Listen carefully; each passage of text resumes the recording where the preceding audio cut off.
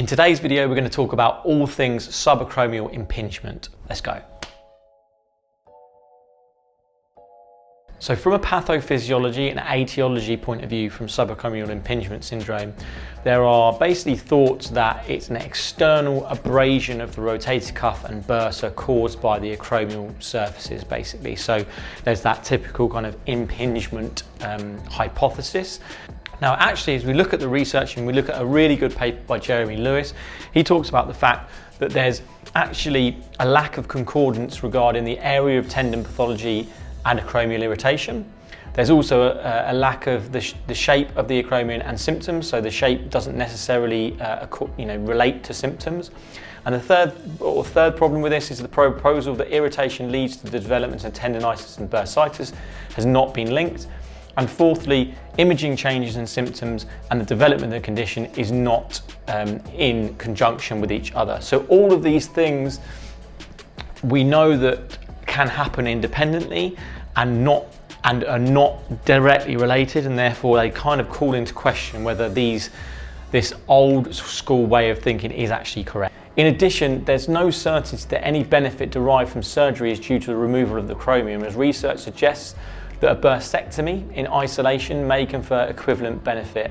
And it's also possible, or been shown to be possible, that with relative uh, rest, uh, after surgery, this is what may be causing the homeostasis. And so it may actually be placebo effect of the, of the surgery really, and just giving it time to recover.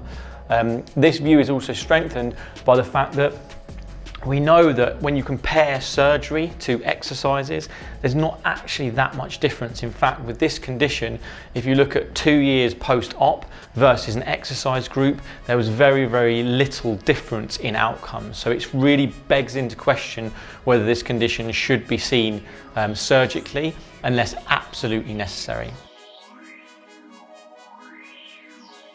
Epidemiology wise, there's about a 7 to 34% uh, prevalence of shoulder pain seen in primary care in the UK. And it's believed that uh, shoulder impingement is the most common of these shoulder complaints, accounting for about 45 to 65% of shoulder pain cases. What's also been shown in the studies is that about 54% of those people that uh, present with shoulder impingement syndrome still have symptoms three years post onset. So it tends to be a condition or seems to be a condition that has a very chronic um, prognosis. So when we look at diagnosing this condition, we first look at our subjective markers, our key subjective markers we want to look for with a patient when they come in. The first one we'd look for is really an insidious onset of pain. It's rare to have a traumatic cause with this pathology and it also comes on over a matter of weeks and months. It tends to be seen in the anterolateral shoulder, quite localized around this region, although it can refer down into kind of the lateral arm as well. Patients tend to have a loss of range of motion, but more pain and a painful arc of range of motion, which we'll go on to talk about in our objective tests. Pain is very specific to movements, it's very movement based. It's when they're doing certain movements, particularly overhead movements, behind the back movements. Um, those are the sorts of movements where you'll get this uh, condition in terms of the aggravating activities. Patients get pain when they're lying down on the shoulder, so quite a common thing when you ask them about night pain, they'll say if they lie on their shoulder, it causes pain. Condition tends to be eased by rest, so at rest they tend to not have many problems unless it's really irritated, but even then they'll find that it's when they're doing things that it causes the problem. And it can also be eased by NSAIDs as well. Now in our objective testing and our special testing, we have a test cluster for the subacromial impingement syndrome. And I've gone into this in more uh, detail in another video. So there'll be a card that's on this video that comes up now where you can actually see me physically go through these tests. So if you wanna have a look at that, click on the link here or in the description, you can go through to that. We'll just run through the names of the tests that you would go through as a cluster to then see whether this is something that you'd be worried about or not. So the first test is Hawkins-Kennedy test. Second test is our Neer test. Third test would be our painful arc. Fourth test would be our empty can test. Fifth test would be our external rotation resistance test. And the sixth test would be a drop arm sign. Other tests which can often be used, and I've gone through in my other video, would be the Yergason's test, Speed's test, the horizontal adduction sign test. So treatment for this condition really should be based around physiotherapy, um, exercising and rehabilitation. Secondly, if this is not working or actually in cases I often find where patients are really struggling to do exercises because of pain. So pain is limiting them with exercises or really, really affecting their function. Maybe they've got some uh, tasks at work they need to do that I'm really struggling with. Then uh, CSI, so corticosteroid injection, is often used for these patients as well. It allows them a little bit more movement, usually less pain, and then allows them to crack on with their rehab, and usually that will be enough. Obviously, in certain patients who don't improve over long periods of time, then subacromial decompressions are sometimes done and surgery is sometimes done in these patients. Now again, like I said before, this should not be the first port of call with treatment because we know that exercises and surgery seems to have a very similar effect. But if someone's been having conservative treatment for a long period of time and they haven't been getting better, then surgery is obviously an option for these patients.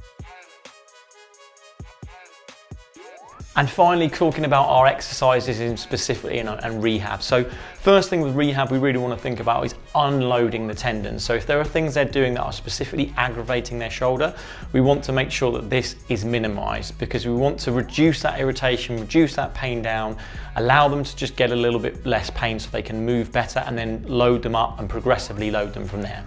In early phase of rehab, you know, we want to work on things like isometrics, but it doesn't have to be isometrics. I think isometrics are often given at the start because they're easy to do and they're not too painful. Um, but if you can get patients doing other things, great. This is just a guideline really. There's no musts with this, but I would start with more isometrics type stuff this is because it's not going to be that painful. So you want to pick exercises that aren't too painful for patients in the, in the short term, build their confidence, build their uh, locus of control, and then elevate them and escalate them from there. So mid to late phase of rehab, you want to get going with the things like your full range of motion, um, rotational exercises, your full range of motion, um, strengthening exercises, gradual progression of strengthening, things like your lateral raises, um, external rotation with dumbbells, with bands, rows, um, all these sorts of exercises. I've put a video together for specifically for subacromial impingement exercises, going through all these phases of um, exercise and also kind of examples and showing you which ones I really like. And so I'll link that somewhere in the card above or and in the description below of this video. And then we would move on to our late phase.